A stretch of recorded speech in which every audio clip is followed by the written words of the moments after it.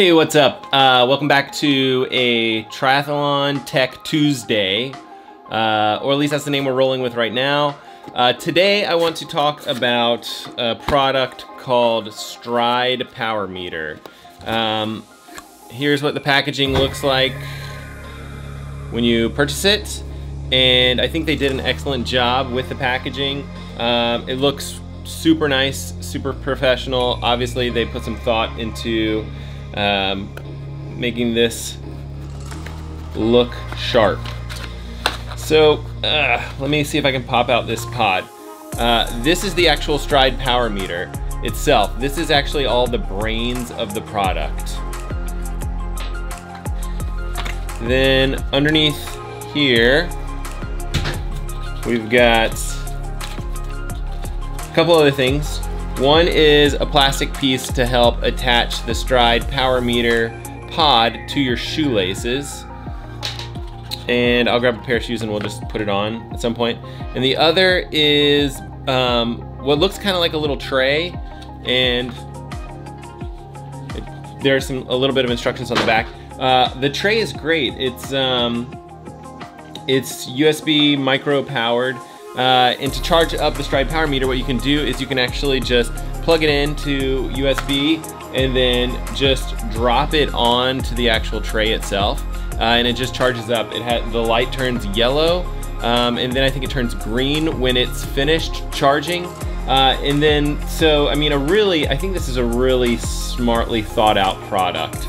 Uh, so I'm really impressed with that. So it must be conductive charging uh, piece here. So, um, and then the other nice part about it is, is um, from my experience using this product, uh, the battery life is excellent. Um, I'm probably charging it up less than, maybe I would say less than once every two weeks. Uh, so it's not too hard. Um, again, once it moves, it kind of comes on, comes to life and it will blink at you. Uh, and then let's take a look at how this would look on a shoe. I try to put it a little bit off to the side so that as my foot bends, it'll be a little bit hard to see this, but um, it just snaps on there like that. I try to put mine off to the side just a little bit so that as my toe bends that there's no pressure on my forefoot. Uh, but yeah, so I'm, I'm super impressed with the overall construction of this product. I think it actually is really well built. Uh, the battery life is fantastic. Charging is fantastic. Uh, and I actually think that the product works really well. Um, it doesn't seem to bother my foot at all when I'm running on there. I've done quite a few long runs with this product. Uh, in fact, what I do is I actually just like put on a pair of shoes and then I just like put my shoes anywhere, wherever it is. Like I'll run with them whenever I put them, you know, and then uh, drop them, take them off, and I just leave the pods on the shoe. So I feel like they are, you know, they're they're nice in the way that you just don't have to think about it very much. Uh, wear it, and then with all of your other data that's going up to Strava, you would have running power data. Uh, and the way the product works is, um, it's not like a I wouldn't call it like a true power meter. Now, um, I imagine that the Stryd Power Meter Company is probably going to disagree with me and say, yes, this is a true power meter. Uh, and where I would say it's not a true power meter is um, it's not uh, a traditional power meter in that um, power meters are always, at least in the cycling world, they're strain gauges, meaning um, you know, you would take like a, a, piece of metal at a certain temperature and it will give a certain amount of bend, up, you know, based upon how much pressure is applied to that particular piece of metal. So strain gauges have been around for an extremely long time uh, and they're a fantastic way of measuring how much force is being applied to a a particular object. So that force might be um, within the pedal, pushing down on the pedal or pulling up on the pedal. Uh, that strain gauge can tell you how much force is being applied to that particular um, product, in this case, the power meter pedal. Uh, and hopefully that power is being transferred into the bike uh, through the drivetrain and into the you know wheel or um, the actual uh, area of the bike that is driving you forward. So uh, more power means that you are going faster on the bike, direct correlation. Uh, in this case, uh, the Stryd power meters, there's no way to um, to have like a strain gauge or maybe they're, you know, maybe some products are doing that with like an insole or something like that. Uh, but Stryd Power Meter, what they're using is an accelerometer. So accelerometers have been around for a while also. In fact, you probably have one in your pocket in your smartphone. And I think this is where accelerometers have really like excelled. They've gotten so much better in the past, I don't know, 10 years or so. They're extremely small and the way they work is, um, think of it like, uh, you know, kind of like like a weight on the end of a pendulum or something like that where, um, you know, uh, a very, very small um, weight, you know, and, you know, some surrounding area that's going to detect movement in that weight um, through current. Uh, and so basically, you know, as you accelerate you know, the pendulum swings backwards and we detect how much acceleration we have. Um, if you jump forward, the, you know, the pendulum swings down and we can say, okay, then we can detect how much you've jumped and things like that. Uh, same thing with stopping and starting and things like that. Um, so that's how accelerometers work.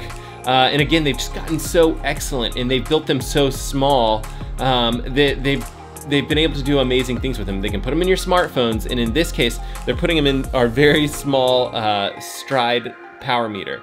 Um, and so uh, with that information, the way they do it is they actually feed it through a number of different algorithms. And this, this is kind of where it gets, you know, tricky. Um, I feel like people say algorithm and their brain just turns off, but it's just, it's a, simple math equation. And, and basically think of it like uh, a math equation that it's going to learn a little bit. Like um, we're saying that if we see these certain patterns, this is walking. If we see these certain patterns, we think that this is running. Uh, and that's how a lot of the accelerometers determine whether you are walking or running. Um, so way more accurate than like your classic pedometers that are basically a little ball that goes back and forth. Uh, and then, so if you ever look at your phone, for example, and you say like, hey, what's, you know, how much did I walk today? That's the information that's looking at. It's looking at your accelerometer from your phone and it's determining we think you've walked this many steps. Uh, and the algorithm is, you know, a lot of these algorithms are constantly learning and things like that, uh, but they have a pretty good understanding because again, they have been using a, a lot of these algorithms for, you know, uh, 10 years, a decade now, and they're getting better and better at predicting, you know, how much walking you're doing, how much running you're doing. Uh, and again, with the Stryd power meter, they're feeding it through um, basically three-dimensional, uh, so that, you know, that's up, down, like how much your stride is bouncing. Uh, and then basically, um, if you're running uphill, it can detect, you know, that because you're you're hitting, you know, you're, you're leaving at one particular location and landing on a different particular plane of locations. So we can do a lot of things that way. And the way that their algorithms that they've come up with work is they're they can dial it in and they can basically put together a number that they're going to call power. I would say it is a, a, highly estimated amount of power and and it should be relative, right? So again, you know, when you're out running at 230 watts, you know, for 30 minutes or whatever it is, they're saying, you know, that this algorithm that we've come up with uh, you know, it's gonna say, it's gonna look at that accelerometer data and we're gonna um, basically apply that and estimate it at this 230 watts for example. Uh, and then, you know, as you slow down, you know, they're detecting that slowdown and the accelerometer differences. And they're saying, you know, according to our calculations, now you're actually running at 100 watts. And these are just random examples. But uh, accelerometer data, you know, what they've done is that, you know, they've spent a ton of time and they've really dialed in this power data uh, and they can constantly tweak it, but you can get a pretty good feedback on how much power you're putting out on a particular run. So if you're running uphill, you actually need to put out a significant amount more power to hold even close to the same pace. If you're running against wind and things like that, you know, um, I'm wondering if the Stryd power meter might run into issues with wind, but uh, the idea is simple, like you're, you're pushing off at a certain effort, you know, to be able to maintain a certain pace. So combining that with GPS data, you really do have a lot of running data when you're using a product like this. So uh, one of the main questions that I think you guys should be asking me um, is, hey Matt, you've been using this product for, uh, I would say about a year or so. What do you think? Do you think I should purchase it? And my my my answer to you is harsh. It's it's probably not. I don't think that this is a um, a product that's necessary. It's a it's a nice to have product.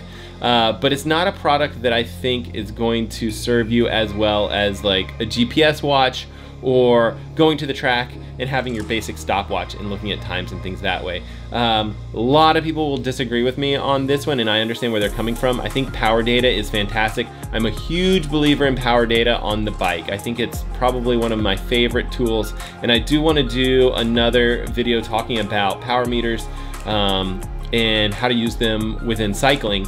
But as far as running goes, maybe I'm a traditionalist. Uh, I really think kind of knowing your times on the track is important and kind of all else, you know, I wouldn't stress too much about it. So, um, I have tracked my power data for this past year just because the Stryd Power Meter does make it super easy, but I'm not diving into it and doing workouts based on power. I have not found that useful. Um, I am not doing um, really kind of like training or easy distance runs based on power, and I definitely have not been racing based on power. And I think for me, um, it may be because I've been running for my whole life, but knowing a certain pace is a lot more valuable to me than knowing um, that particular power number that I'm using. So uh, again, and, and I also run a lot to feel. So I, I do feel like when I'm racing, I do love to know, I glance down at my watch and I know, I like to know what that last mile split was.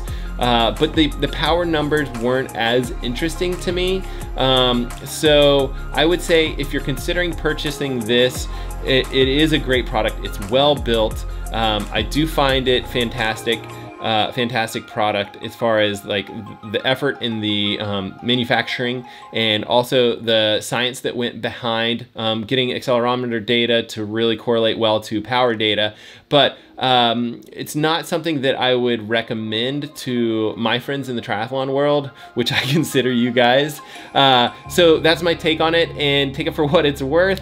Uh, again, these um, Tri Tech Tuesday concepts are just uh, the idea that we would kind of take a look at a techie product. Uh, I will give you my two cents on it. And you know you guys can formulate your own opinions. I'd love to hear what you guys think especially if you have a Stryd power meter. Feel free to comment below and let me know what you guys think. I know that a lot of you guys are probably gonna just tear me a new one you'll probably say yes this is great you know i'm doing all my my, my training based on this and I'm seeing personal records um, race after race. So if that's you, comment below. I would love to hear all about it and maybe I'll do a video update and change my mind. Uh, but until then, thanks so much for watching. And if you're new here, consider subscribing.